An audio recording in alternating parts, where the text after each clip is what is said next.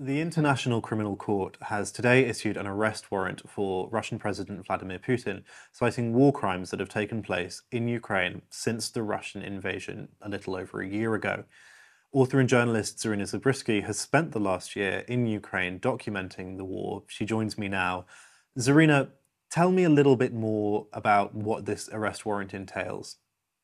Right, George. Um, today is a pretty important development because the International Criminal Court in The Hague uh, has publicly announced uh, issuing the arrest warrants for two people uh, the Russian Federation President Vladimir Putin and his main human uh, rights, children's rights specifically, representative uh, Maria Lvova Belova. Uh, and uh, while um, many would dismiss it as a um, warrant that could not lead to an actual arrest, it is really meaningful because uh, the, according to the Roman statute, 123 countries now have the right to arrest uh, these individuals uh, if they decide to travel to these uh, countries. Uh, so uh, there's a particular crime that is listed on the warrant, and that is for allegedly transferring and deporting the population, specifically children, uh, and unlawfully transferring them from the territory of Ukraine to the Russian Federation. Uh, and this is the one particular crime uh, that is now uh, being uh, already uh, put in action because a number of war crimes, crimes against humanity, um, genocide that the International Co- Criminal Court can potentially uh, pursue and issue further warrants. And this is what the international experts uh, on law are talking about at this moment today. Tell me, what are some of these? Obviously, there's the, as you say, the kind of transfer of, of children that's on the warrant.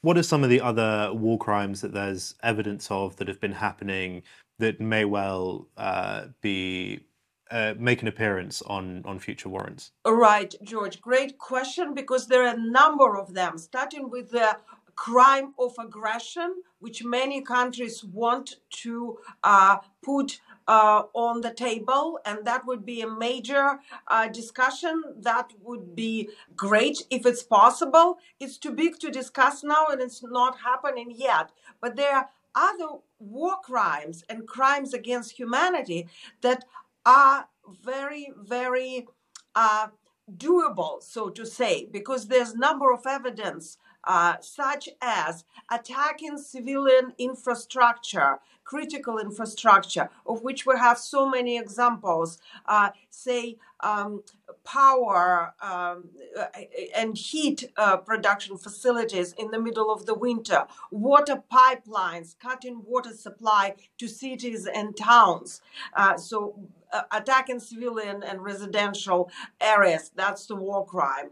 Then uh, uh, murder and torture of civilians on a mass scale, and that's uh, mass graves that we have been investigating uh, lately with Byline TV, as you know.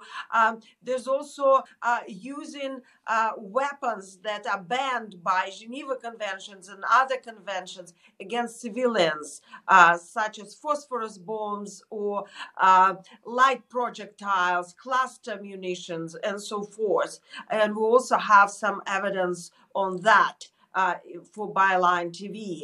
Um, uh, and uh, there, there is torture in particular that I have been investigating and writing for, for Byline Times. And these are just some of them. There's also genocide on the table. Uh, but for now, just as with the uh, crime of aggression, we don't have much of the development, but I think it's good to list it.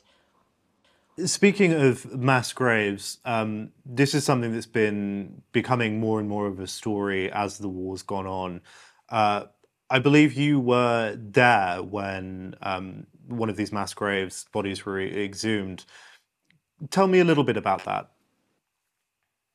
Yes, George. Uh, I have been to several mass graves uh, exhumation. Um, the biggest one, in particular, in Izum, uh, 447 bodies uh, overall, and by now I think the number is nearing 900.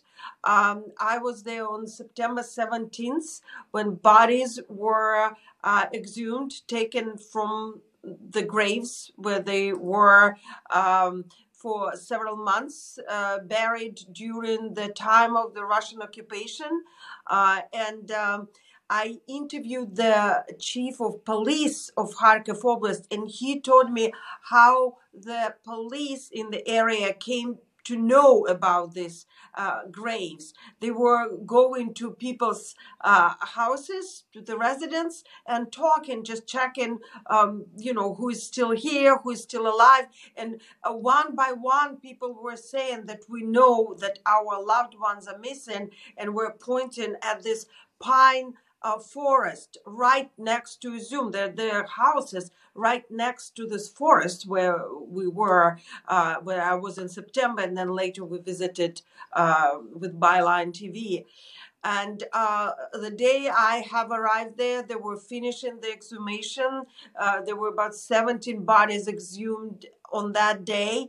Um, the smell, George, was unbearable. The, this was one of the most horrible experiences that I had in during this year. Um, this indescribable uh, soup of the air that just you cannot escape. We all wore masks, but um, the, the, there's something that happens to your brain when you're exposed to that uh, the, the smell of decay decaying human flesh. And it's even worse than sight.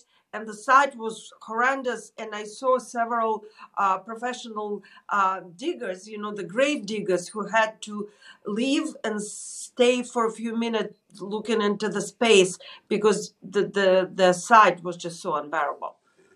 Tell me a little bit more about the people um, in, in these graves what how how did they how did they come to be right there? so while uh, right so while there were some uh, people who were the victims of airstrikes or shelling, artillery fire. There were a number of people, and I was present at the exhumation of the grave when one of the victims of torture was exhumed, and um, their uh, arms were tied behind the back uh, and there were multiple uh, injuries and there were bullet holes in the skull. Uh, so what would happen during the exhumation? There would be uh, war crime prosecutors recording all of this, taking photographs, and then the bodies were sent to Kharkov um, in refrigerated trucks for DNA uh, analysis and further identification. Uh, and most of these bodies were civilians. There were a few children bodies. I've seen them carrying them in black bags. Uh, and it was overwhelming. I mean, it's massive. Imagine, right? It's 500 people basically. Um, and that that would be war against humanity and one of the war crimes because these people uh, didn't do anything but live in in their houses and when their their town was occupied by invaders. You've obviously you've been uh, in ukraine for over a year now.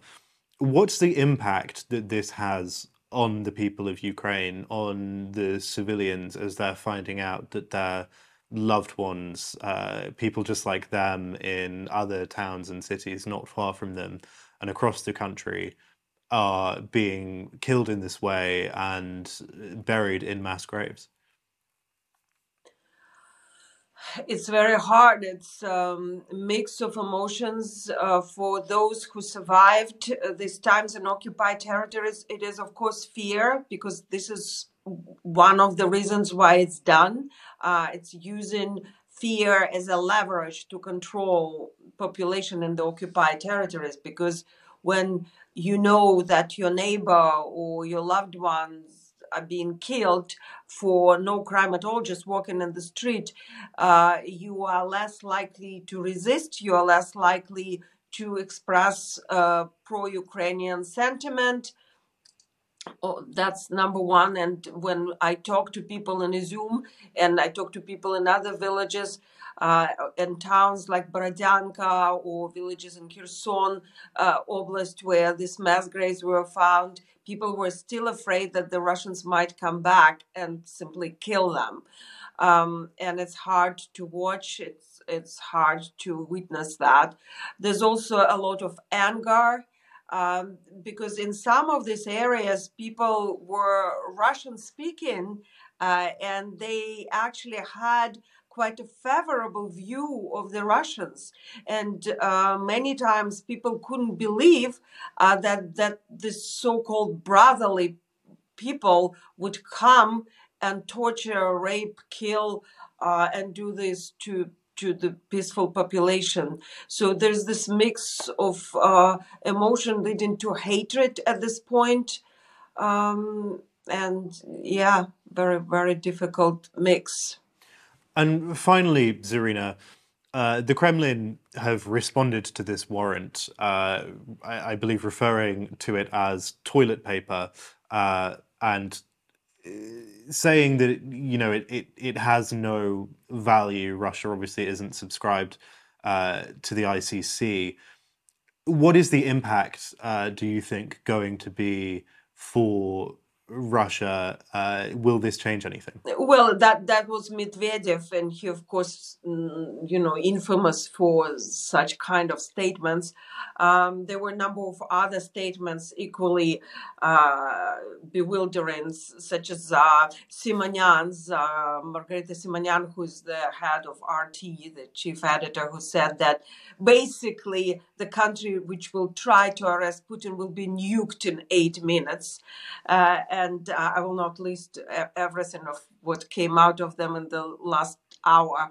Uh, but what it really means is that Putin cannot travel very much.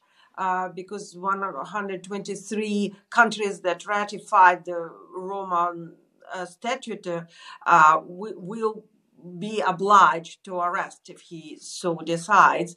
Uh, it also means that uh, leaders of other countries will think twice now before arriving to Russia and negotiating with him or simply standing next to him or shaking his hand because he's now officially a war criminal. Uh, so that puts a question mark on for somebody like Macron or Scholz, who tend to have lengthy telephone, otherwise conversations with him. Uh, I know that people already questioning whether uh, the Chinese leadership will continue with their plans to visit Russia and so forth. Well, basically, it is a very clear statement uh, that Russia is recognized as a, a, war criminal country. Putin is recognized as a war criminal.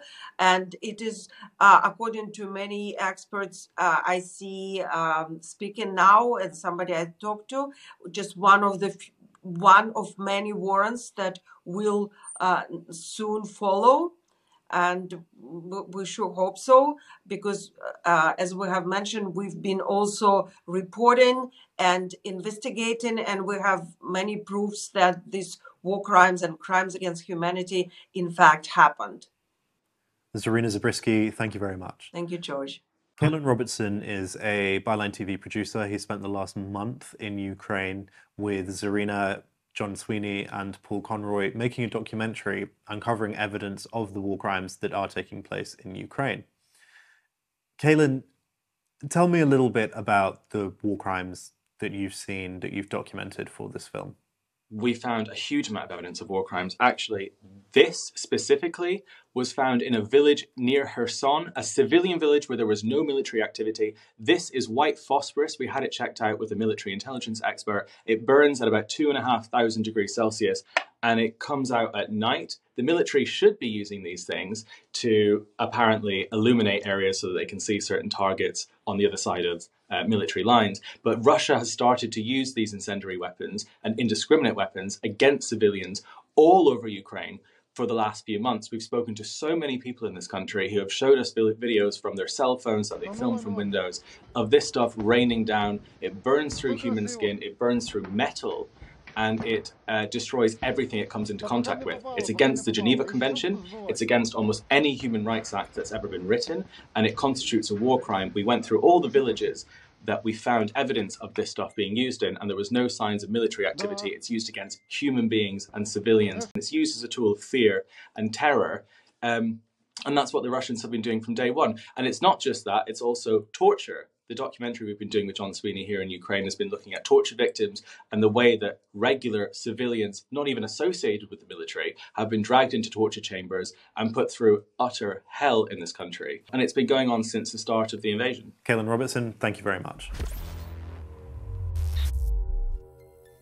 Byline TV is subscriber funded, which means we don't have billionaire backers, but we also don't have press barons telling us how to report things, what we can report it means that we can stay truly independent and accountable to you. So if you're not yet a member, please go to byline.tv forward slash join. And not only will you get loads of perks through Byline TV Plus, you'll also be helping us to build a better media. Thank you.